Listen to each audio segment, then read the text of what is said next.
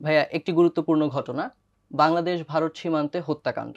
পুরো নির্বাচন কমিশন একই সাথে পদত্যাগ করেছে। তো মুদ্রাস্ফীতি সম্পর্কে আসলে আমাদের কি জানা প্রয়োজন?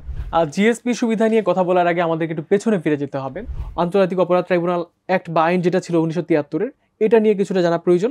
প্রথম কবে নির্বাচন কমিশন গঠিত হয়? তো ওই যে চীনের পাশটাতে ওই পাশটাতে আসলে ম্যাকমোহন লাইনের ওই পাশটাতে বেশ আহ, দ্বন্দ্ব আছে ভারত চীনের মধ্যে। ভাইয়া আমরা দেখেছি সাম্প্রতিক সময়ে একটা নতুন প্ল্যাটফর্ম তৈরি হয়েছে যেটির নাম হচ্ছে জাতীয় নাগরিক কমিটি। যখন আমরা পলিথিন নিষিদ্ধ করেছিলাম আমি দুই যদি ভুল না করি ভাইয়া দুই হাজার দুই সালে বাংলাদেশই হচ্ছে প্রথম রাষ্ট্র যারা আইন করে পলিথিন নিষিদ্ধ করেছে এক্স্যাক্টলি